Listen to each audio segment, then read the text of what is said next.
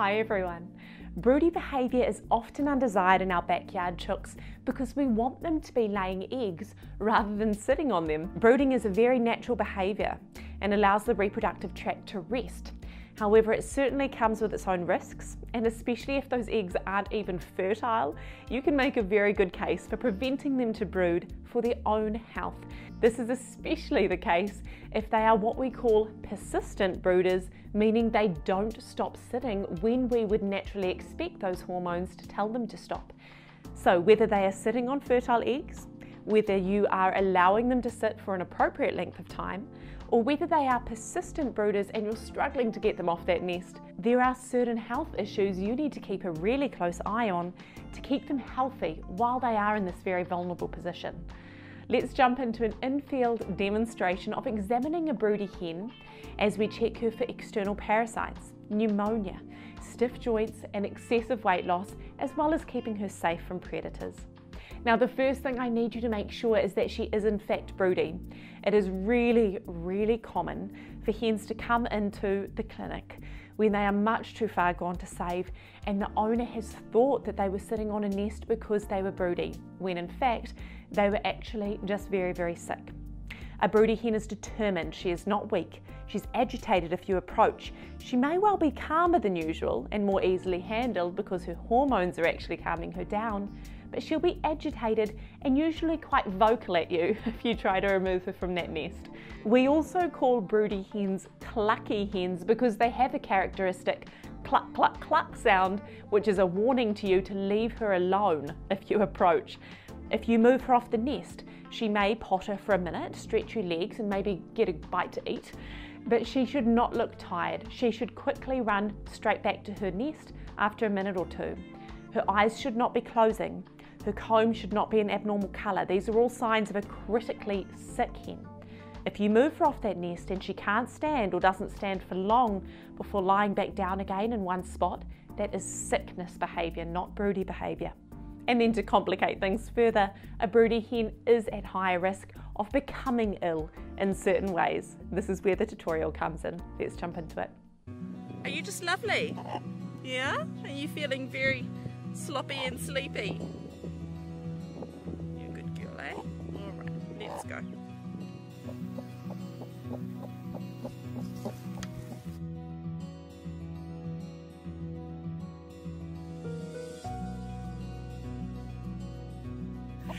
hope you guys can hear me over the clack of Miss Sylvie here because she is not happy about being about being pulled off her babies so she sees it so when a chick goes clucky, it comes down to a few factors. A lot of it's genetic, um, but we are looking for the right combination of hormones. And then when all the stars align, her prolactin levels are going to start rising. For now, let's have a look over her and make sure she's in good health. So one of the things we're looking for for these guys is to make sure that they're not developing any kind of nerve weakness or musculoskeletal weakness in those legs. As you can imagine developing pins and needles, if you sit with pins and needles for long enough, you will develop irreversible nerve damage. But the other reason we see it is from inflamed joints. Sometimes chooks have a low level of underlying arthritis that we wouldn't normally recognize, but when they're sitting down and their joints are stiff, we might see that cropping up. So we want to make sure that there's no sign of weakness in the legs for sure. We want to make sure she's not lame at all. So if you flip them on their back here, hello sweetness, hey, hello, if I place my finger underneath her toes and push, her little toes should wrap around my finger. And that's the perch reflex. That's what allows them to perch at night and actually fall asleep. So can you see here? Her legs are nice and strong. She's giving me good resistance. She's actually gripping really nice and strong with her toes. Good girl. You're wondering what on earth is going on? Good girl, sweetheart.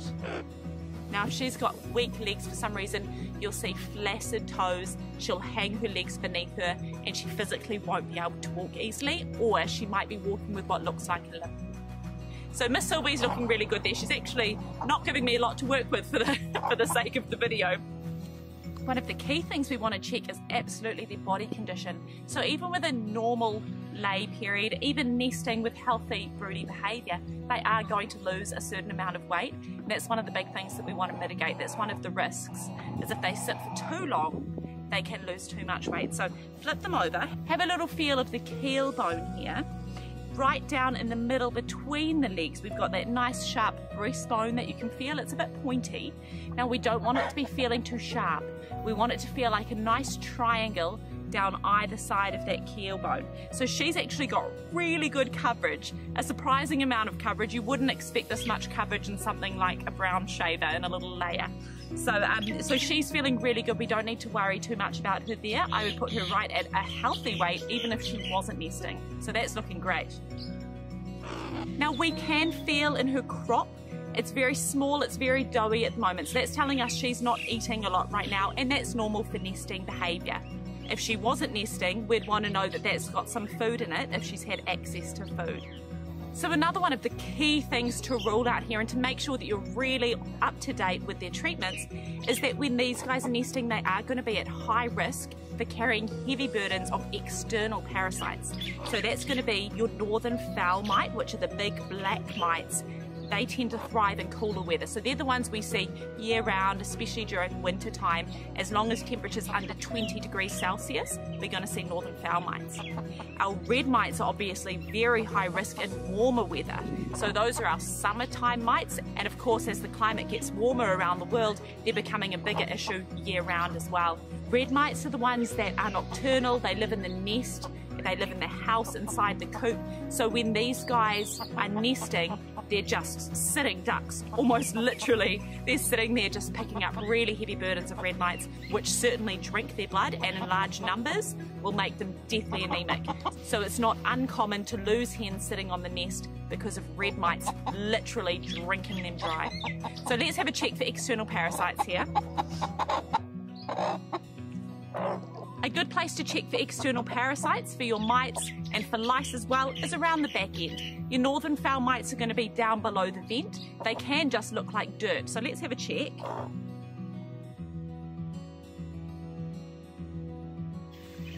So I can't actually see any northern fowl mites down there at all. This chook's in exceptionally good health.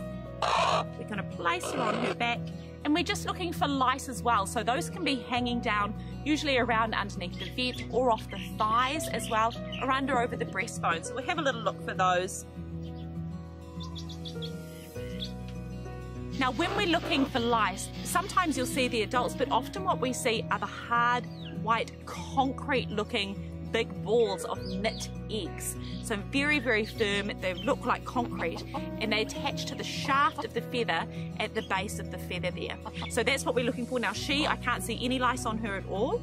I can't see any northern fowl mites on her, which would be on her during the day, so that's fantastic. Now because Miss Sylvie is sitting down low on the ground in a dusty nest for a long period of time, she's also going to be at high risk of developing pneumonia, just because of the dust flying around there and being low close to the ammonia fumes from her own excrement. So I'm going to go ahead and have a listen with my stethoscope, have a listen to her lungs and her air sacs, make sure there's nothing untoward going on there.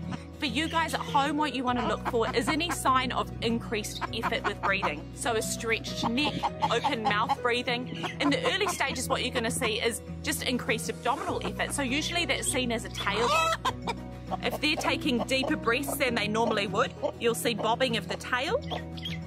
She looks absolutely beautiful. I have a little listen anyway. You're in great health, my love.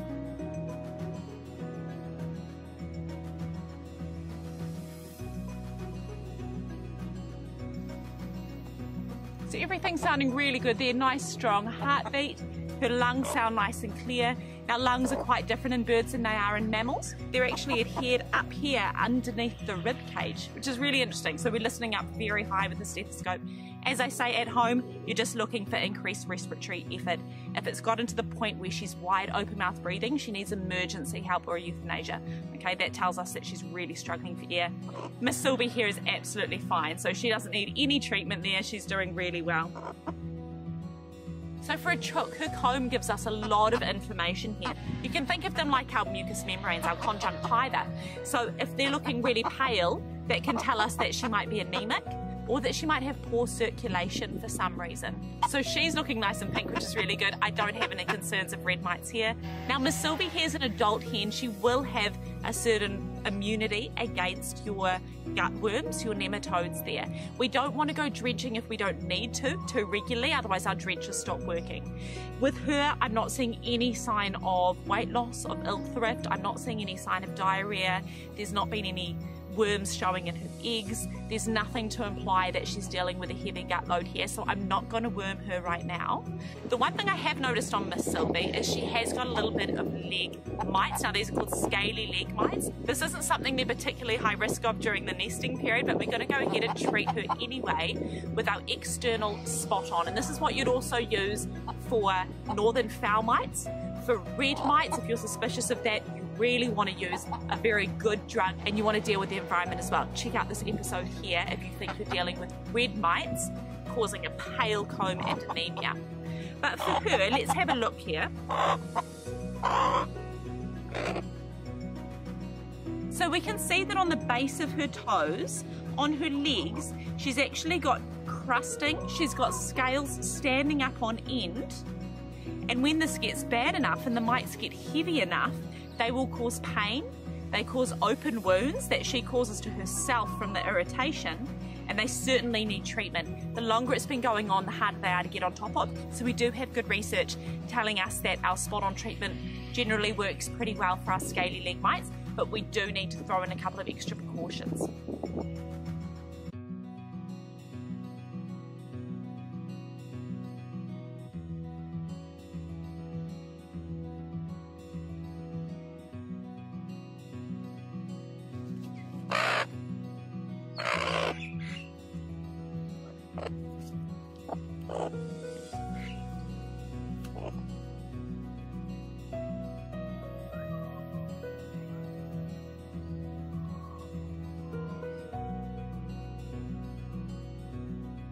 So to treat scaly leg mite, we definitely want to use an external treatment there. Um, to really what we're aiming to do is just suffocate the mites here. So whether you're using a leg spray, um, which has some really soothing oils in there, or if you're using a basic Vaseline, either way what we're trying to do is suffocate the mites that live under the scalp. So really important to get out your old toothbrush before it's thrown out and then get up there and once you've sprayed on or laid it in Vaseline, you, need, you do need to scrub it up underneath the scales to make contact with the mites. Now the added benefit of using your toothbrush is all this thickened skin is going to come off as well. So it also acts as a bit of an exfoliant which is lovely for healing but it's also and more importantly going to mean that we're going to make contact with those mites with the spray. So getting up under those scales and of course this needs to be repeated. Well done Miss Sylvie. Well done my love. Now Miss Sylvie here is usually very, very skittish. So her docile behaviour right now is actually probably due to her prolactin levels being high, which do have a bit of a calming effect there. So she obviously wants to get back to her eggs, but she's being very lovely to handle. So to try and help prevent weakness of the legs, excessive pins and needles progressing to irreversible nerve damage, if she's not getting off and going for a good wander on her own for 15-20 minutes a day, we need to encourage her to do that. So let's go ahead and take her just a wee distance away from the hen house where her nest is, pop her down. We might find that she sits, if she's still in that kind of snuggly fluffed up stage, she might sit for a few minutes. Eventually she's going to get up, stretch up those legs and move around, hopefully have a feed, have a bit of a dust bath if we're lucky before heading back to her nest. Let's see how she goes.